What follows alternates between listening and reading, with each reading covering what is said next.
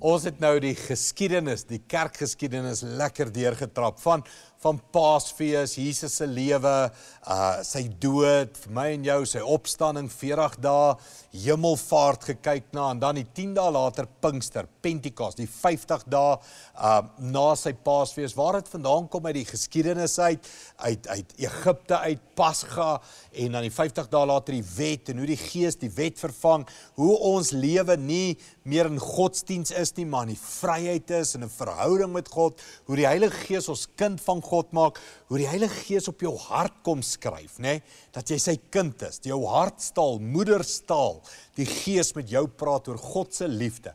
Niks jou kan skei van die liefde wat God vir jou het in Christus nie. So, ons het nou al lekker deur hierdie gedagtes, maar die feit bly staan, baie mense sukkel met die gedagte van 'n lewe vol van die Heilige Gees. Dis God die Vader is maklik, Jesus Christus verstaan hy, maar daai tree gee van 'n lewe vol van die Gees. Mense is bang daarvoor. Uh, goeie mense het al vir my gesê Andries, dis daai Casper the Ghost storie. Dis daai ek kan dit nie verstaan nie. Dis nie wetenskaplik nie. Dis daai geeskomponent aan hierdie Christendom wat vir my moeilik is. Nou ek het daaroor gaan dink, hoekom is dit vir party mense moeilik? En en hoekom sukkel mense met die konsep van 'n verhouding met die Heilige Gees, vol van die Gees, gedoop met die Heilige Gees, gawes van die Gees, vrug van die Gees, die krag van die Gees. En een van die gedagtes wat by my opgekom het was woorde wat 'n professor vir my gesê het toe ek nog geswat op universiteit en hy het hierdie woorde gesê 'n lewe vol van die Heilige Gees is gevaarlik. Um jy kan dit nie in 'n boks plaas nie. Godsdiens is in 'n boks. Is 'n kursus, dis reëls, dis wette. Jy weet wanneer as jy reg, jy weet wanneer as jy verkeerd. Godsdiens kan jy in 'n boksie plaas. Dis hoe Christendom lyk. Dis hoe Hindoeïsme lyk. Dis hoe Moslem lyk. Dit is hoe elke geloof het sy boksie waarin jy plaas en jy kan die pros en cons en die do's en die don'ts en die ticks en die boxes kan jy alles doen, maar maar 'n lewe vol van die Gees is 'n vrye lewe. En sodra iets begin vry word, word dit moeilik, word dit kompleks. Het het het het dit verskillende angles, het dit verskillende beelde. Daar's prente, daar's daar's visioene, daar, dit raak moeilik. En en dis wat Jesus beloof het. Die lewe vol van die Gees gaan bietjie meer moeilik wees. Dis dis nie die letter nie. Dis vry en en jy moet dit doen. Kom, kom ek gee vir jou hierdie gedagte. Dis ook 'n verhouding. 'n verhouding is kompleks, né? Nee? As twee vriende is, is lekker. 'n Man en 'n vrou is beste vriende. Al soveel flieks daaroor gemaak. Hulle sê daai twee vriende moet net nie begin soen nie, né? Nee? Sodra hulle begin soen en daar's liefde en daar's intimiteit en daar's 'n verhouding, wat gebeur nou? Nou raak dit kompleks. Nou kom maar goed soos jaloesie. Daar kom nou verlange, daar kom nou reëls, daar kom nou ek hou van, ek hou nie van nie. Ek wil hê jy moet, ek wil hê jy moenie. Sodra die verhouding begin, begin twee great vriende baie keer beklei. Huwelik, hoeveel mense sê ons bly saam in vrede en sodra ons trou, nou wil ons skei. Nou is daar fights. Nou nou is dit kompleks, nou is dit moeilik. Dit is dieselfde met die inwoning van die Heilige Gees. Godsdienst is maklik tot die Heilige Gees in jou kom. Nou raak dit gevaarlik. Dit raak avontuurlustig. Dit daar daar daar's adrenalien wat gebeur. Daar's varsheid wat inkom. Daar's daar's nuwe beweging. Ek dink deel van hoe ek dit vir jou kan verduidelik hoekom dit vir party mense moeilik is, is al die beelde, woorde, die die die metafore wat gebruik word vir 'n lewe vol van die Gees. En en is alles gevaarlike woorde. Ek bedoel, die vuur van die Gees, vuur. Vuur is iets wonderliks. Dit maak ons warm, dit maak ons kos gaar. Vuur is iets pragtigs. Dit kan onkruid verbrand en verwoes en tot as vat. Maar vra vir iemand wat 'n huis verloor het in vuur, vra vir 'n boer wat weiding verloor het in vuur, vra vir 'n kind wat aan iets warms vat of vuur iets ouliks is. Nee, dis iets ouliks nie. Ek hou nie van vuur nie. Vuur is verwoestend. Jy kan dit aan brikeer nie. Dit dit dit, dit gaan net. Die dag op Pinkster, daar was tonge van vuur bo op hulle, né? Op hulle koppe, né? Vuur is gevaarlik.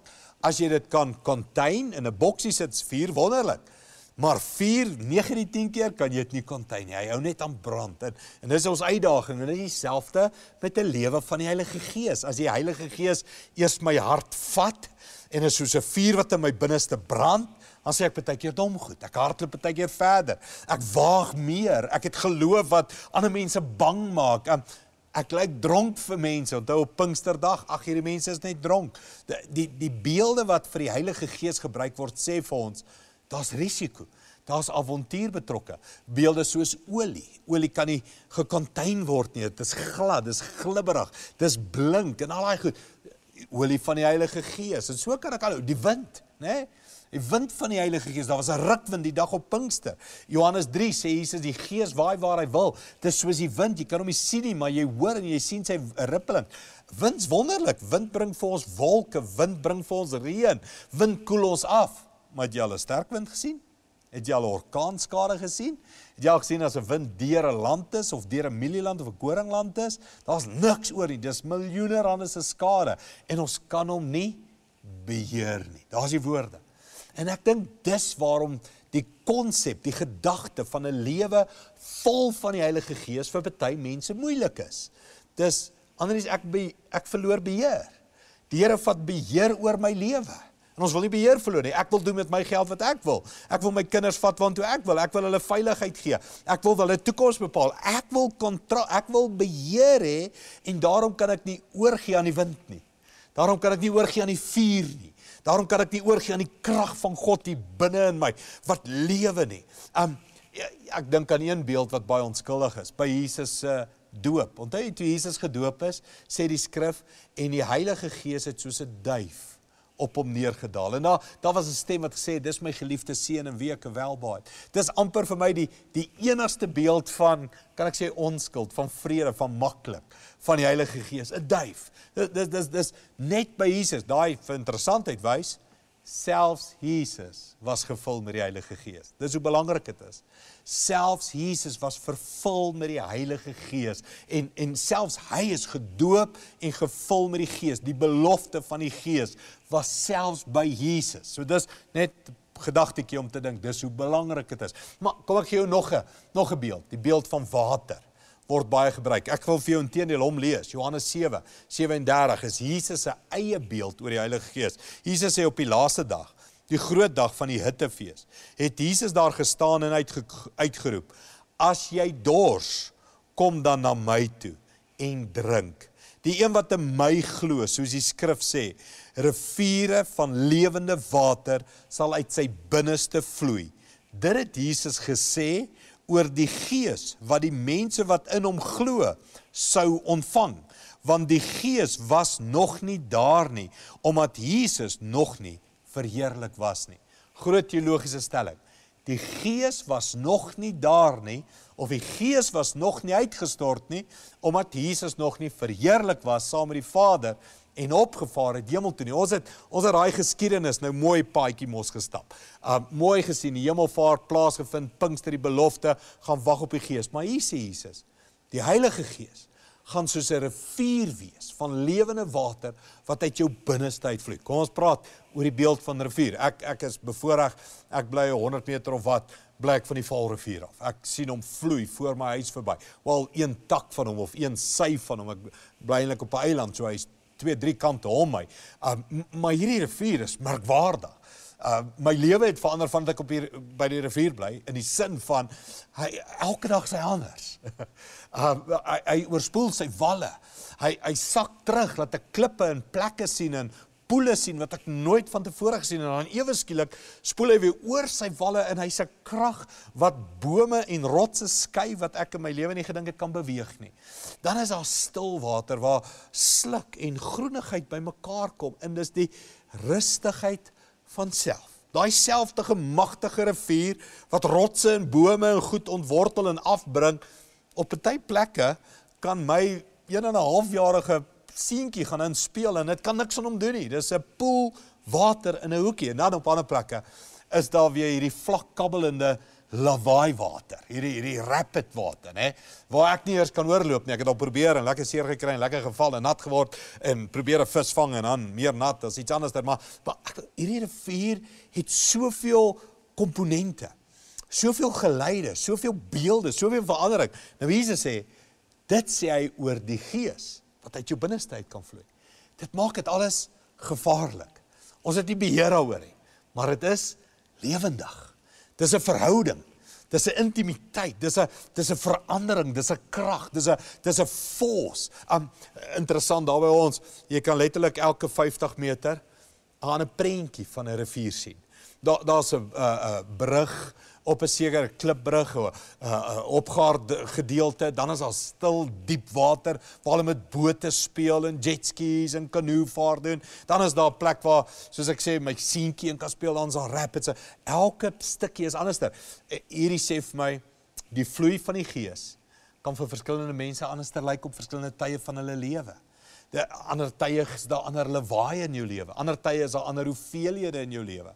Ek ek lees 'n stuk van Moeder Teresa en sy gebruik die beeld van olie en die Heilige Gees en sê olie is so interessant. Jy kan 'n uh, as sy praat oor die vyf wyse maagde en die vyf dwaase maagde wat hulle olie moet gereed hou vir die wederkoms. Jesus kom weer op die wolke, die bruidegom wat terugkom. Sy sê die interessante ding van olie is jou kannetjie kan vol olie wees, maar dit vat net 'n druppel wat die vlammetjie aan die brand hou.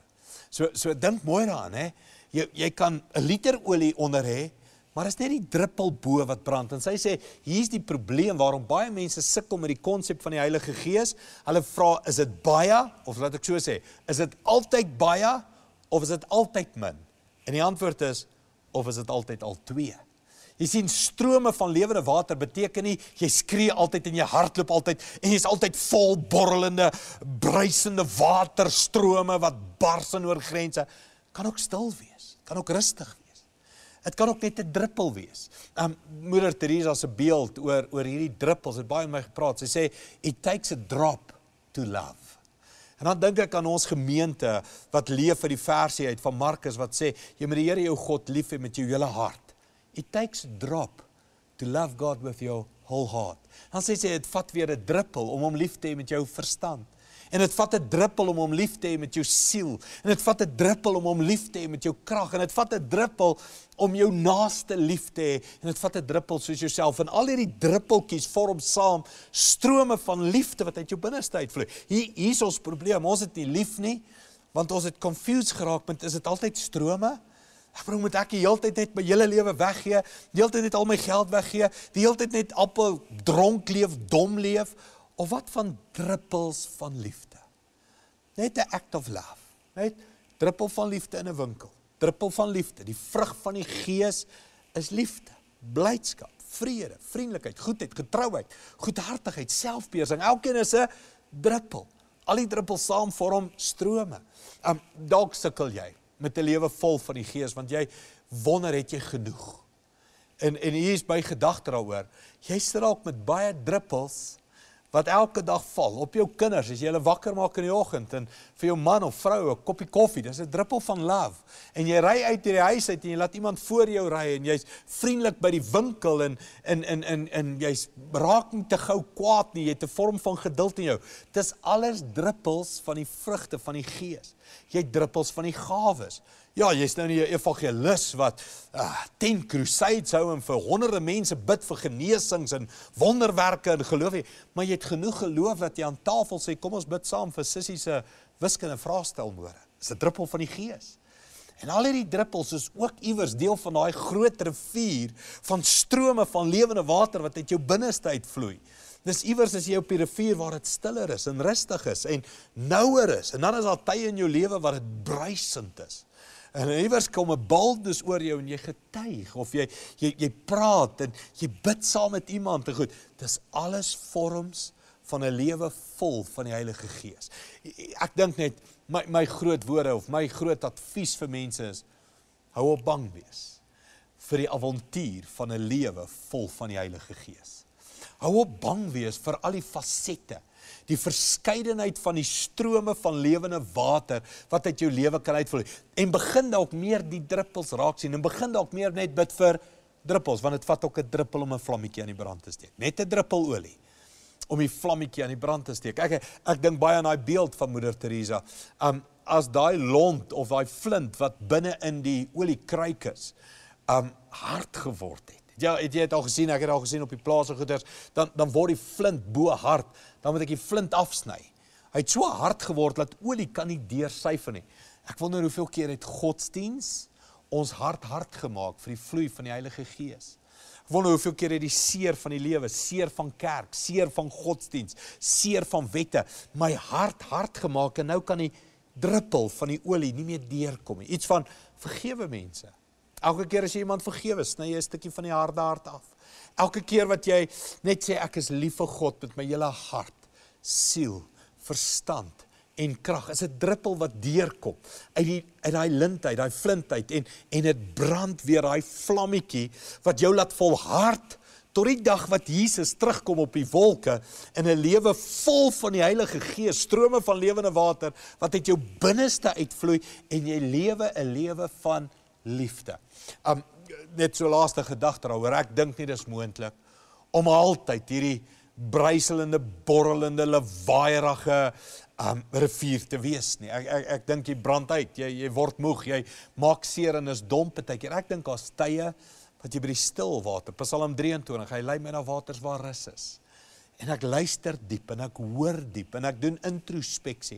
En ek sorteer goed uit en ek sny goed af en ek daar's sulke tye ook en dan dink ek daar's tye van druppels, spatsels van die water en dan dink ek daar's tye van 'n gedruis en dan's daar tye van diepte, diep in die water. So hier's iets net vir jou wat sê die gedagtes van die Heilige Gees is altyd aan my gegee as net dit. Dalk dalk het jy iewers in 'n kerk gesien, ja, vol van die Gees as hulle waaierig en trompette en vla en dans en baie ekstreem charismaties en dit het jou afgesit. Dalk sit jy by 'n ander stukkie van die rivier. Dalk het jy gesien sendelinge wat uitgaan en in groot armoede leef en swaar kry en en jy sien is dit 'n lewe vol van die Gees en dit het jou afgesit. Dis 'n ander stukkie van die rivier. En so kan ek aanhou om vir jou te sê, dalk is jy nie so ver van 'n lewe vol van die Heilige Gees nie. Jy's besig met die druppels van die rivier en jy moet net toelaat dat dit deur jou spoel. En meer deur jou spoel en meer deur jou spoel. En jy moet minder bang wees vir die werking, die avontuur van hierdie verhouding saam met die Heilige Gees en en, en jy moet oopmaak daarvoor. Sê Here, vat my op hierdie avontuur, op hierdie rivier. Jy moet op 'n bootjie op hierdie rivier gaan en sê, waar hierdie wind my vat, waar hierdie gees my lei, die avontuur gaan great wees. En God gaan niks aan jou doen wat jy nie wil hê hy moet nie. Hy hy gaan nie jou lewe omverwerp en jou in chaos dompel nie. Hy's lief vir jou. En ophou bang wees vir die avontuur van die lewe saam met die Heilige Gees. Dink aan hierdie beelde. Ons gaan luister na 'n lied en dan gaan ek vir ons saam bid um oor 'n lewe vol van die Heilige Gees.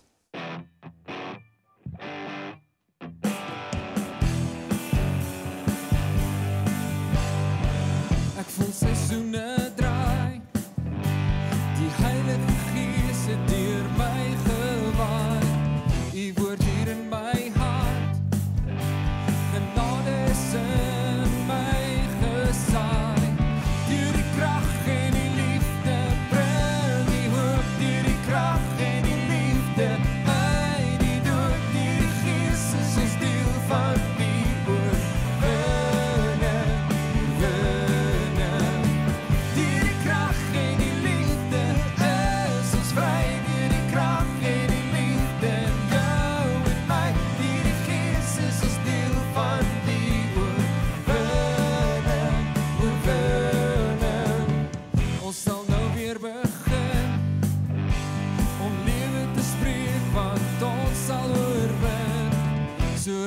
raak